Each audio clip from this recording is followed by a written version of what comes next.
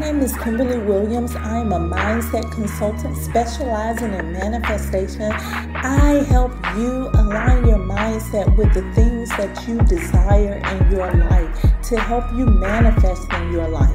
So, what are you waiting for? Come on, let's go. Let's manifest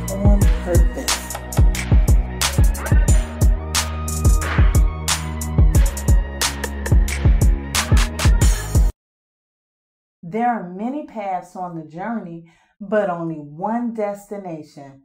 Which path to manifestation will you choose? Hello, hello, hello, and happy Friday. Welcome to the Manifest on Purpose Mindset Show, conversation number 95. I am your host, Kimbaley. I am a mental alchemist. I help you transform your mind so that you can become the best version of yourself. Thank you so much for sharing your time and space with me today. Thank you for inviting your friends and family. And thank you for subscribing here and on the website at manifestonpurpose.net. The God in me loves the God in you. You know, I must admit, I have a problem with the word manifestation. Not with the word itself, but in the many ways the word is perceived. This word, manifestation, became important to me when the law of attraction found me. Yep, you heard me correctly. The law of attraction found me. I knew absolutely nothing about the law of attraction and, quite frankly, had no interest in it at all when my life coach instructor suggested it as a niche. I chose relationships instead. During a coaching session with a client, I found myself explaining the law of attraction. The topic I thought I knew nothing about rolled off my tongue.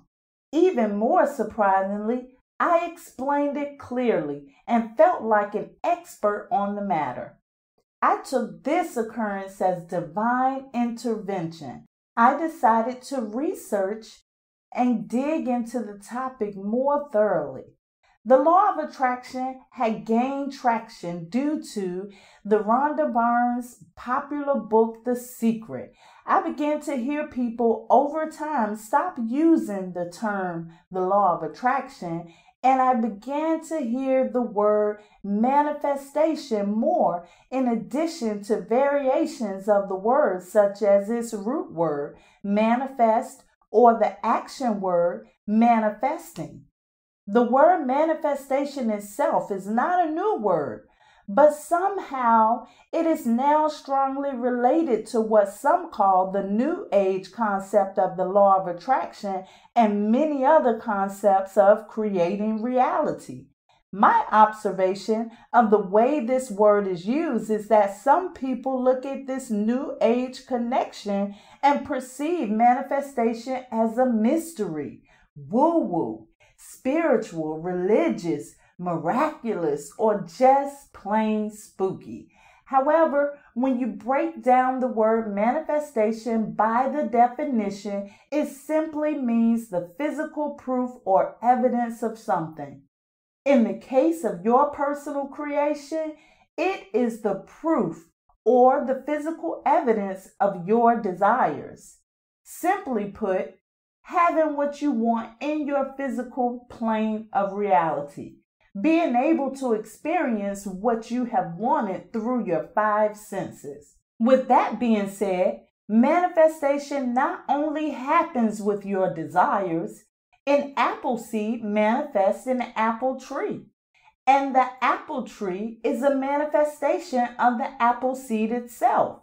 However, the important thing to note here is there is a process that is involved. For the seed to get to full manifestation as a tree, some things have to happen in between. One reason that I bring that up is to help you understand there is a distinct difference between manifestation and the process that gets you there. Now, I'll talk to you more about those processes that lead to manifestation.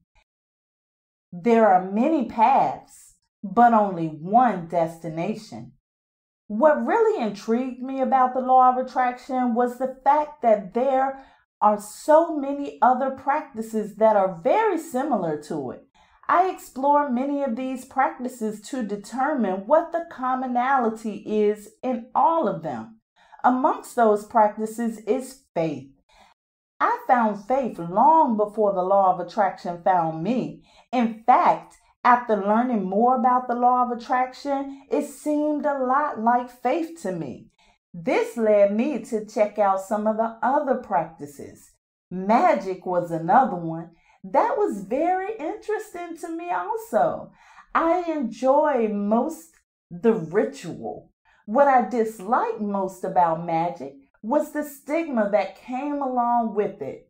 Although there weren't many differences between ritual magic or faith, many people see it in a negative manner probably due to the media or some other form of program. Quantum physics is probably one of the hardest of the processes to understand because it deals with creation through the study of matter and energy at the most fundamental level.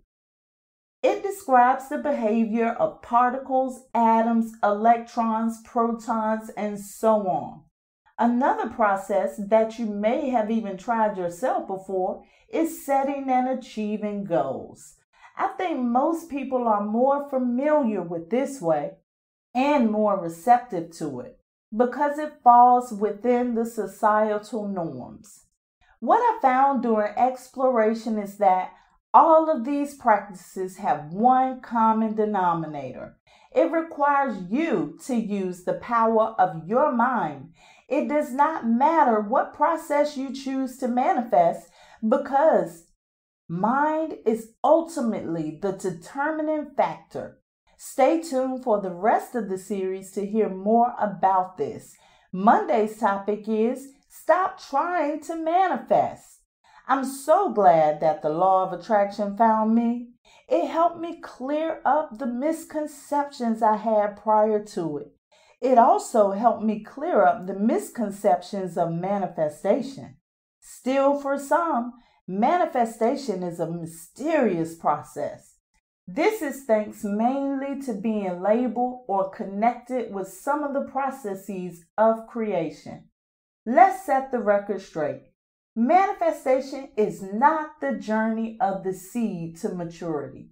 It is the fruit of the seed. The process is something entirely different. There are many processes you can use to create reality. Some may be easier to understand, or some may have stigma attached to it that you don't want to connect yourself with. But what it all boils down to is that you can create for yourself through using the common denominator of all of these practices mind. There are many paths on this journey, but only one destination. Which one will you choose? I love you to life. This is how you manifest on purpose. Let's prepare for meditation. If you are driving, please don't attempt this now. Please download it and save it for later. If you are not driving, now is your time. Please find your sacred space the space that is comfortable for you, distraction free and safe, the space in which you can relax and focus on your breathing.